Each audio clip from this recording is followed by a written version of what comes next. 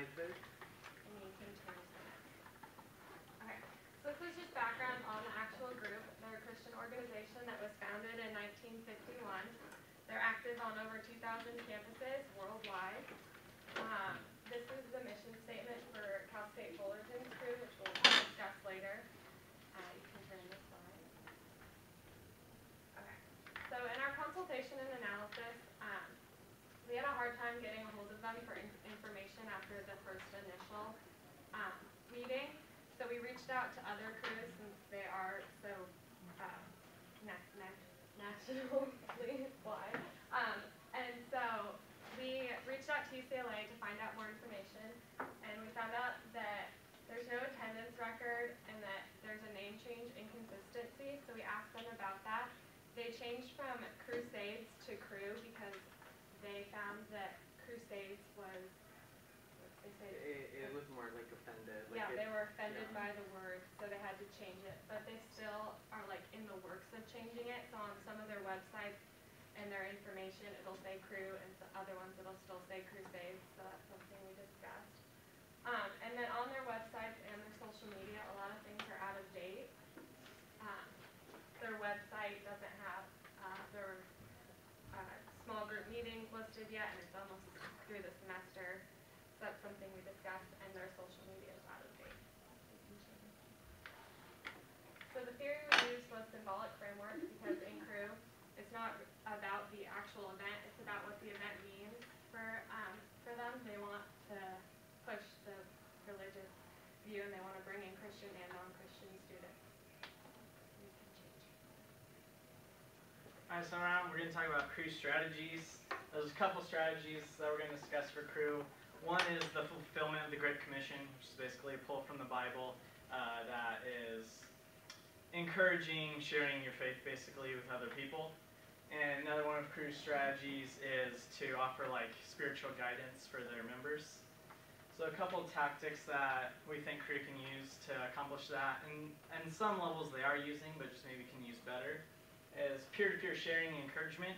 So that would be, you know, a Cru member approaching people in his class or approaching people in study groups and kind of encouraging to take part in it. And some of the, um, oh, and then the other tactic would be to you to get like your news out on campus about events and things like that.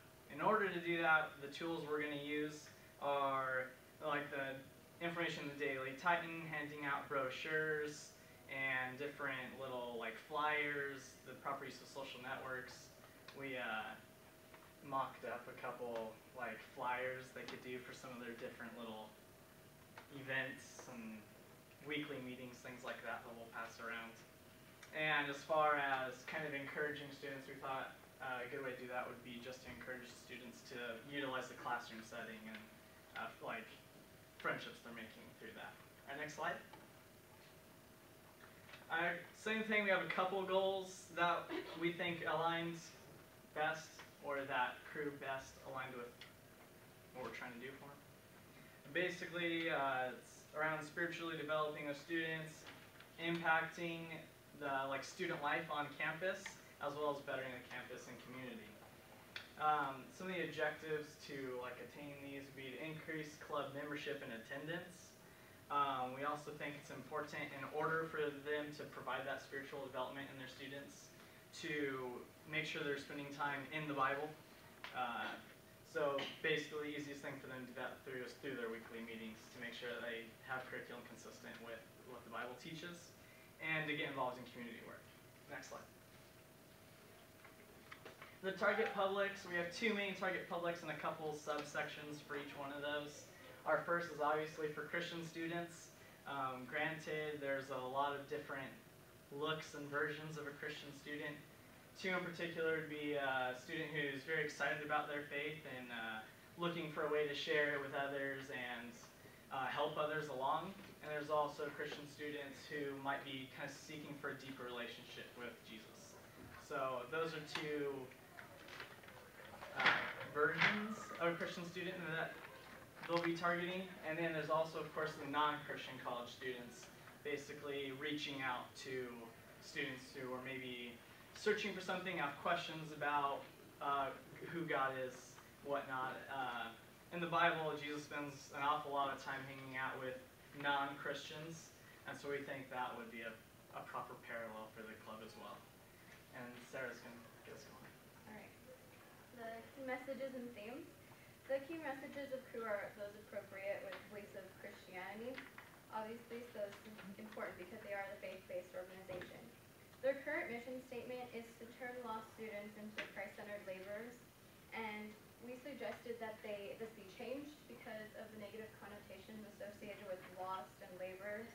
Um, we suggested that it read instead that Cru provides guidance to students by sharing the message of God. And Cru's purpose is also to help, as we mentioned before, fulfill the Great Commission, and that's, they say it's found in Matthew 28, 18 through 20. This reads that, Then Jesus came to them and said, All authority in heaven and earth has been given to me.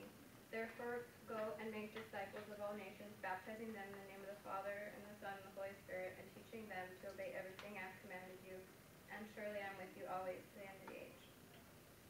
Uh, therefore, that their mission statement is their main key message, and everything that they do should reflect and line up with the Great Commission and um, their mission statement and their beliefs that are stated in the verse.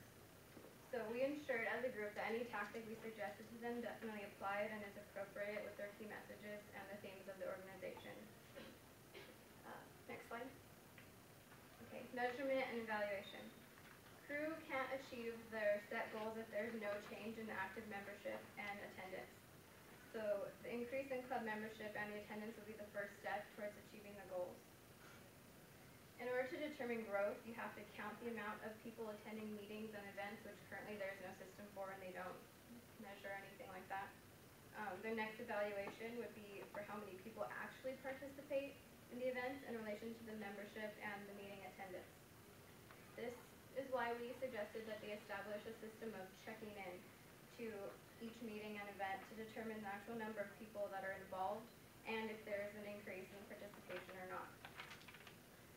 Ensuring that each member likes the Facebook page will also make for a greater presence, or encouraging uploading and commenting on the YouTube page or any social media site can increase the member involvement and generate more interest for Cru. If there is a large growth in the active membership, then the success has been reached. But if there is little to no change, then that's how I plan is unsuccessful. And that's what their main focus is, so. Uh, the timeline, uh, technically, is gonna be through the, uh, CSUF school year. So we divided it by semesters, and, uh, we suggested to our client that he should start next month by getting blueprinted, because without getting blueprinted, he's not allowed to post any flyers around campus, or pretty much promote his club. And then another thing that we gave him as pretty much a weekly homework assignment is to promote his social media through posting uh, things like weekly Bible quotes, just so people could see that they're aware, uh, uh, that they're aware of the uh, their social media. And we also said that they should, um, oh yeah, like pretty much promote their their weekly meetings and like guest speakers that are gonna be coming. And we provided our client with like blueprinting dates, specific blueprinting dates that he should do it before the school semester, uh, pretty much the next spring semester begins. And also we promote, uh, we told, deadlines to when he should have like his flyers done and, uh, he should also submit a application for Discover Fest, cause that's where he's gonna get most of these members from. So we uh, told him that he has to submit a Discover Fest application so they could uh, reserve a table for Cru. And uh, next slide. And then our budget, pretty much, uh, we provided a low budget and ma- basically it was mostly for printing. And uh, we came up with a budget of fifty-seven eighty to prom- uh, to print out the posters that he's gonna put across campus to promote Cru. And the rest for like food and everything else, it's gonna be pretty much by sponsorship and donations, which we provided a letter for him to reach out to outside organizations and fast food services around